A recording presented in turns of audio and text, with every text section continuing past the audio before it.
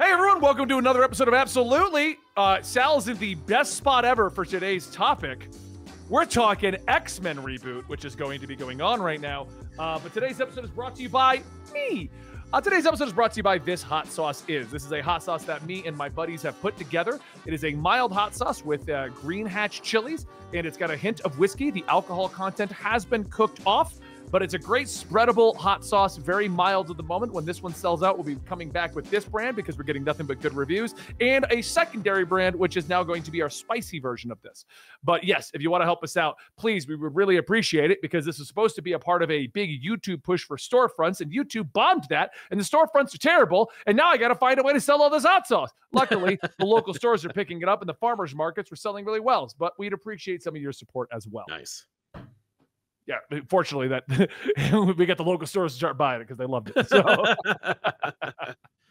uh, okay, so X Men is rebooting again. Yeah, yeah, the comics are rebooting. The cartoon is getting a reboot. The movies are rebooting. X Men's getting a complete line wide across the way reboot. Yeah. They're lining uh, up with X Men '97 TV to the '90s. Yeah, yeah exactly. Uh, I understand why, uh, because the number one selling big two comic book of all time is X Men number one, drawn by Jim Lee. And it is still people's most beloved iteration of the X Men, regardless of the outliers who talk about their favorite versions from the 70s, the 90s, the Krakoan age. As far as Marvel's concerned, you know, the bankable income is X Men 97 slash X Men from the 90s. I don't know. And I, I want to ask you this.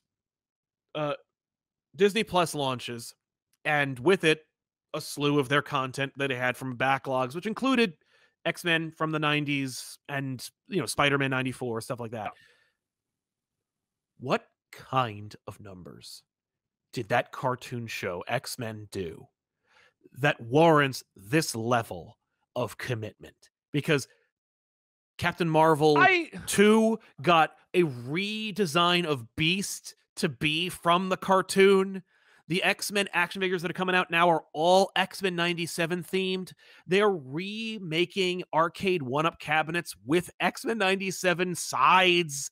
X Men 97 is the the all in let's go era right. for X Men across the board from Marvel and Marvel Studios. What kind of numbers that cartoon show? Did? I don't think it did well. But I think it's the There's legacy. no way it didn't it. because it greenlit a new show set in that universe with I those actors. Legacy. I think that's the thing. I think it's just it's never gone away. Like, like Batman the animated made... series never went away. Right, but they never made another one. I mean, they did some like tie-ins and stuff. They did the Justice League cartoon, but again, that was a new thing with that Batman in it.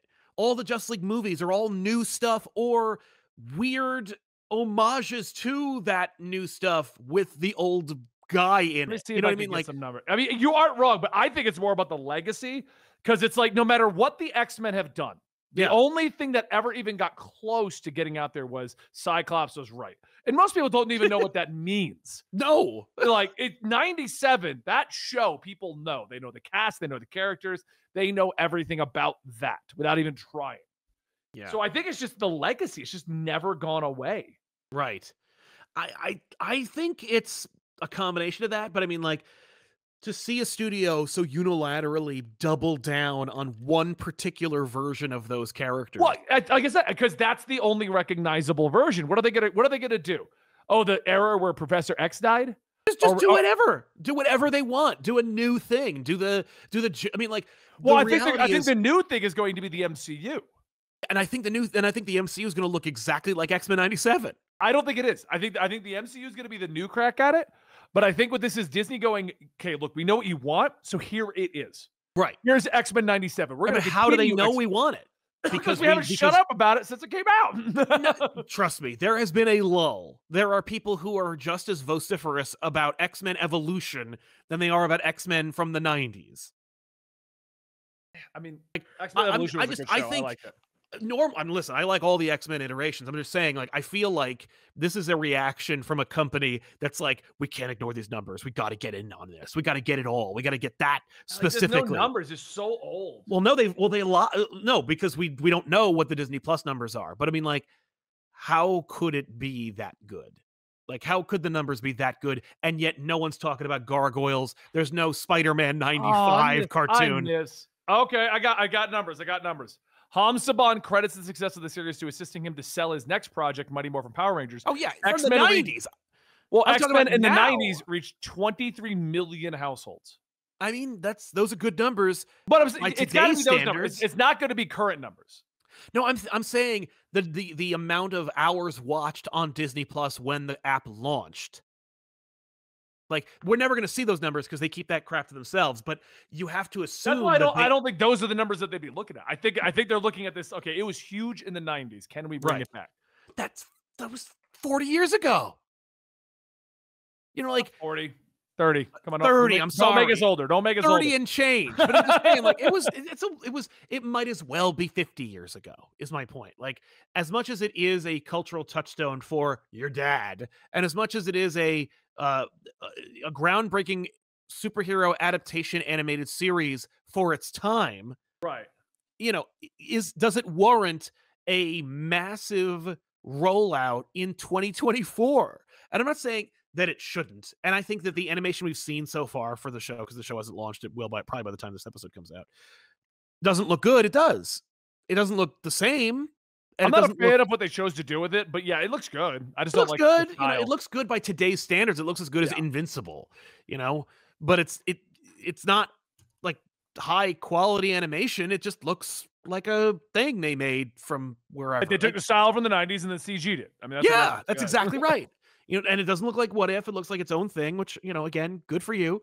But I don't know. It just seems like it's. It seems like a lot of faith is invested in this show based on some kind of secret formula that they concocted. I would be disappointed if it was just the the, the you know the the nostalgia of just being like, I remember how good that show was.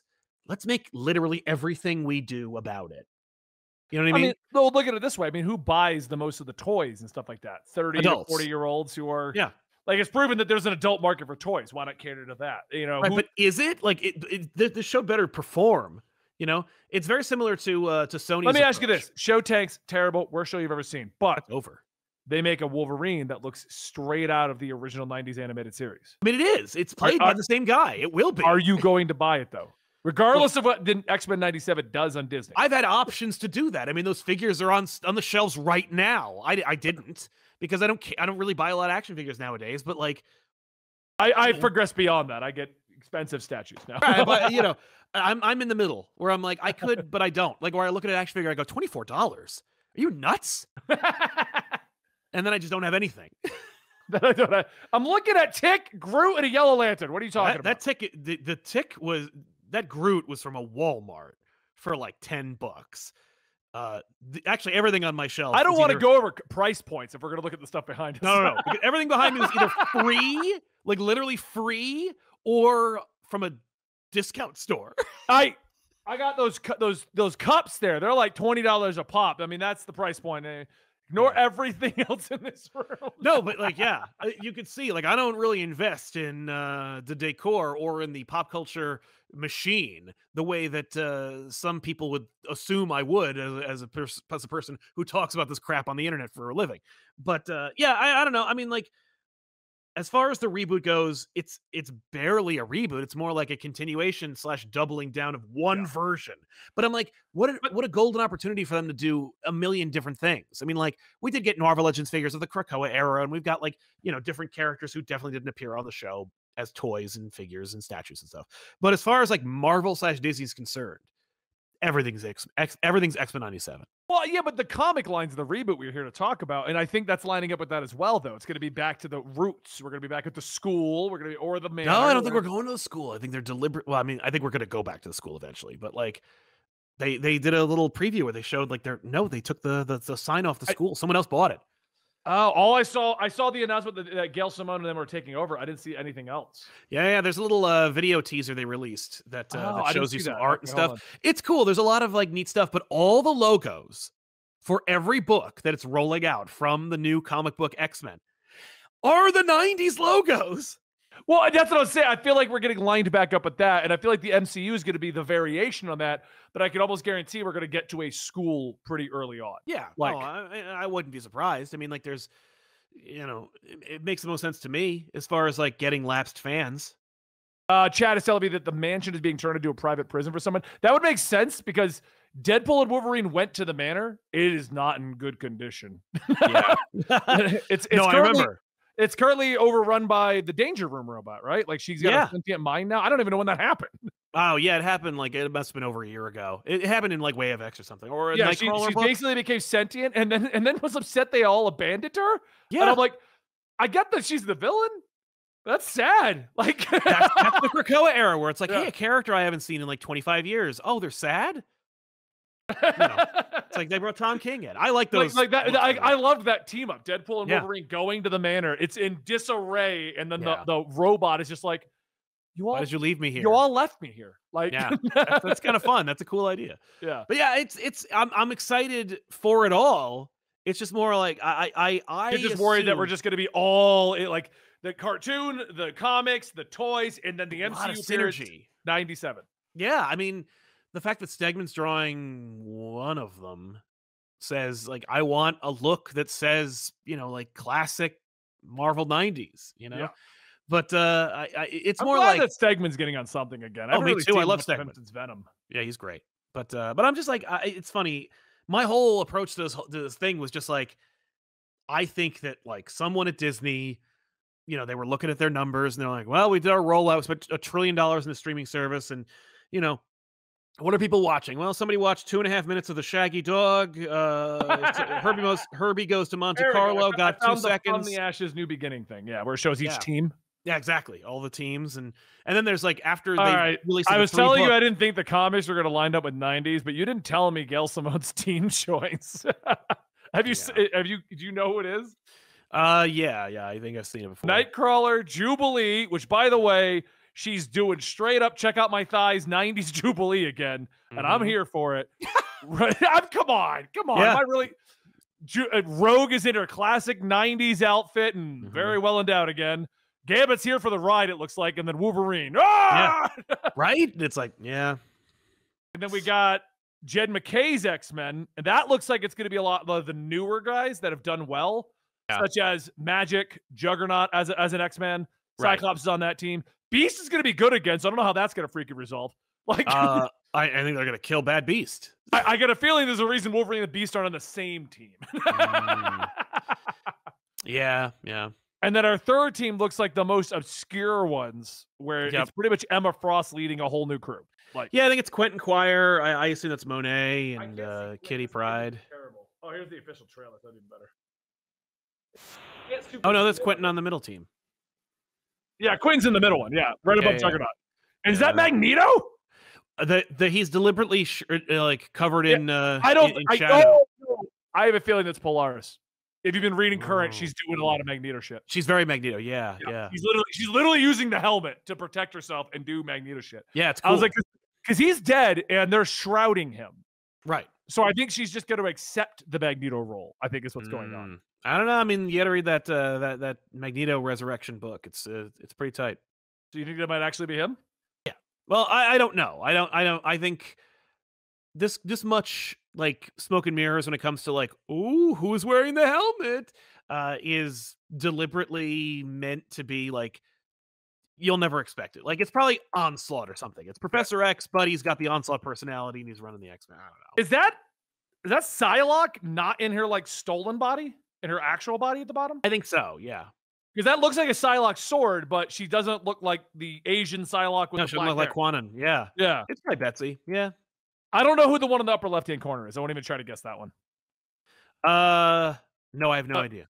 Uh, but for the record, just so you know, editor uh, Platt, I need you to put this on the screen because we're literally just do not do not just let people try to find this image. I'll put it up for them to watch, look at too. Yeah. I'll do that. Um, because we're trying to guess who the team members are. Here, let me Mhm. see. Can I do this? Open image, a new tab. There we go. Yeah. There we go. Nice and big. Okay. Mm-hmm. Yeah, so I can identify the entire left team. That's easy. I did. I can't get over how hard that Jubilee outfit goes. Like Yeah. that redesign, they're like straight out of Jubilee from the 90s. She's not a vampire anymore. And Yep. we took away half her clothing. like she's Why got not? the ab window and the thighs. And they're like, but Rogue, she's in the full outfit. yeah. But short sleeves. That just I'm just saying it goes so hard. It's just like, does, come it does. on, come over here, 90s. Yeah. Yeah, that's Stegman for you. Um, no, Stegman's on the middle. Yeah, but he's drawing the whole thing. Oh, he drew this this whole yeah, that's right. Okay. Um, this one's got Magik, Beast, Juggernaut. I, I kind of like Juggernaut being a good guy. His whole Yeah. plot just like he should have been a good guy earlier, you know. Yeah. Uh, I still I think that's Psylocke. I don't know who this is. Mm-hmm. Who's this up here? I don't know. Do you know. know that one? Mm-mm. And I this is Kitty and, and Emma. Yep.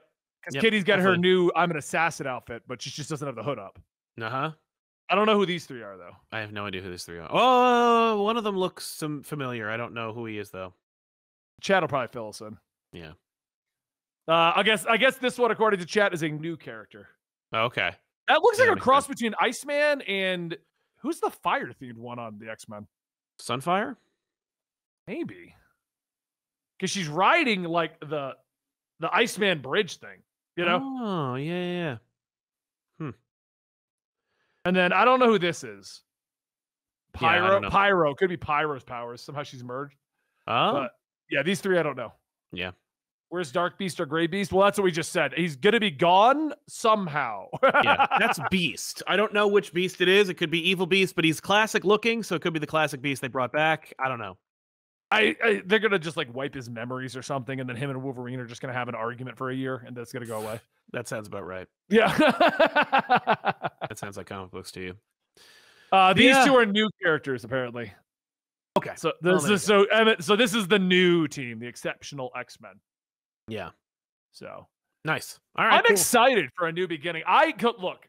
You got you convinced me to be excited for the X Men. You did. I did. I got into the Krakoan thing, and the longer I'm in the Krakoan thing, the more it makes no goddamn sense to me because it's so all over the fucking place. And I've complained about this many times. Mhm. It, like I just I look, I like having a lot of comics in one, but I also like to understand how they link together. And the X Men just drive me up the wall. How Mhm. they're connected, but not, but are, and you got to just kind of read them all to really get it. Yeah, Like, that's right. I mean, that, I think that's my biggest problem. Like, I can skip some Batman books, and I don't feel like I'm missing out on a Batman story. Uh huh. But if I every time I skip an X Men X Men book, one of the ancillary ones, I feel like I'm missing something. Yeah. Yeah, that's that's X Men for you. Yeah, so I'm excited that we're going to narrow this back down to three core titles that I can Mhm. follow along with, which each have people that I'm interested in. Also, this means that uh, whatever Sabretooth did to Quentin's going to go away because he's got his body back. Uh, yeah. I almost assumed that though, because Sabretooth's killing way too many people for the Right? to. I agree. this is gonna be like some bad dream or something for Wolverine, because there's way too many dead people at the moment. yeah, yeah. Too many dead important marketable characters are dead. Yeah, that's what I mean. Yeah, I mean that's got he's got a suit on. Maybe that is just classic Magneto. Right? I don't know. They're deliberately not showing you. Yeah, he's He's he, every, he's in other teasers too, and you can't see his face.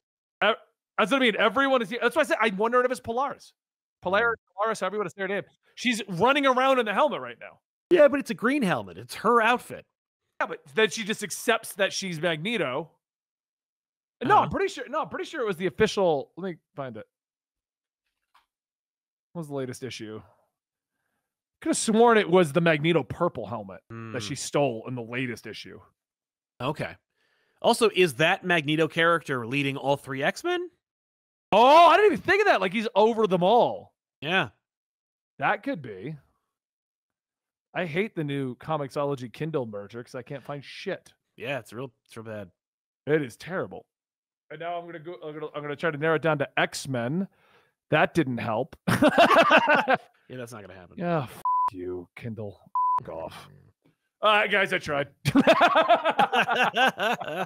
it's fair. All right, well, everyone, let us know in the comments down below what you think is going on with the new X Men. Uh, I'm excited. A new jumping on point, kind of clean up a lot of how confusing this has gotten. But it looks like a lot of ramification because everyone likes to say like, "Oh my God, nothing sticks." No, I mean Yeah. literally, Kitty's still in the assassin outfit. hmm Magneto's being hidden for a reason. Juggernaut's still on the team. Wolverine is back with the team. Like the Krakoan stuff's gonna stay. It's we're not Yeah. kicking it to the curb and just forgetting it existed. No. Only idiots are like, it doesn't stay. Look at the lineup, morons. Yeah. so, but I'm Betty. That is Sal. Check out our hot sauce. This hot sauce is, if you want to support us on a larger scale. And we'll see you next time right here at Absolutely.